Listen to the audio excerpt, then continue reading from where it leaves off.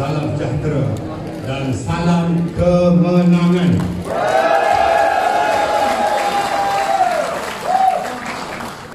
Perubahan sikap rakyat khususnya pengundi-pengundi di negeri Melaka yang telah kembali menyokong semula barisan nasional. Saya ingin bahawa nasional akan mengambil beberapa ketetapan yang menjurus kepada agenda transformasi dan pengukuhan untuk melahirkan kestabilan politik dalam negeri Melaka. Rakan-rakan, ahli-ahli majlis tertinggi, pengurusi-pengurusi dan ahli terpaksa perhubungan negeri, negeri dan barisan nasional.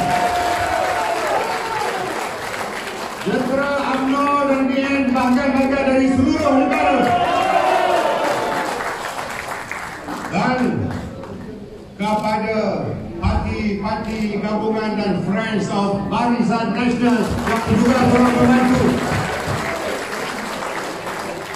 Begitu juga kepimpinan NGO, tokoh-tokoh dan individu yang tidak dapat saya sebutkan satu persatu tetapi kita berikan penghargaan kepada semua mereka yang telah membantu kalau kalau dan negara. Saya bagi pihak Barisan Nasional juga ingin mengucapkan penghargaan yang tidak terhingga kepada pengundi-pengundi sekali lagi kepada rakyat negeri Melaka. Terutamanya kepada pengurusi BN dan perhubungan negeri Melaka. Yang berhormat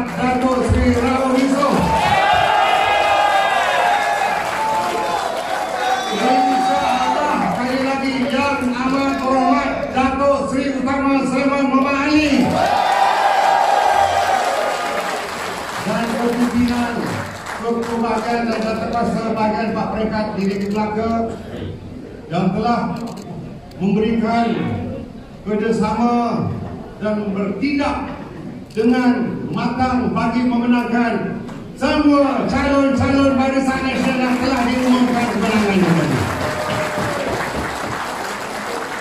Kejayaan yang telah diberikan kepada barisan nasional akan dibalas oleh kita, oleh BN dengan memberikan perkhidmatan terbaik serta melaksanakan segala janji yang terdapat di dalam manifesto pilihan raya di Melaka oleh Barisan Nasional.